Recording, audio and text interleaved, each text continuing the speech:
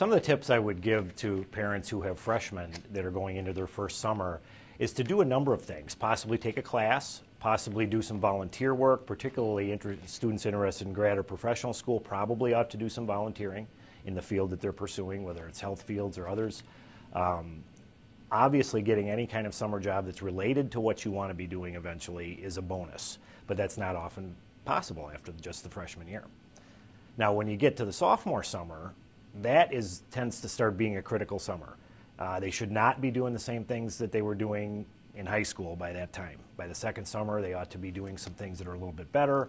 Hopefully, an internship or at least a part time job that's related to the kind of field that they think they want to go into. Um, possibly to supplement that or to figure out do I, in fact, want to go into that. Now, the junior summer, the summer after their junior year, going into their senior year, is critical. They, they should absolutely be doing something very substantive. Uh, hopefully, a, an internship, maybe a second summer of a first internship if the first one was a real good one. Um, whether the student gets credit or not, whether they get paid or not, it's really more about building that resume before the senior year so that they can start interviewing and going after real serious entry level positions.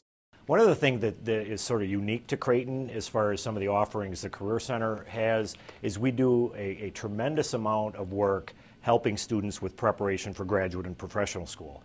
Since there's so many of our students that intend graduate and professional school after, uh, after undergrad, we spend a lot of our staff time and a lot of our energy with, with pre-med preparation, all the things that pre-med students ought to be doing outside the classroom, things of that sort. The Career Center at Creighton is a, is a, a great central place for students to start uh, the whole job search process, whether it's internship or full-time position after school and they should be getting to know their career counselors. Um, we have found that students that we are on a first name basis with tend to be more successful than the ones that don't come in and use our office. So uh, uh, that's, that's the other thing that I would suggest. Um, and really, any parents out there that have internships that they might want to share with other Creighton students, we would be happy to hear from you.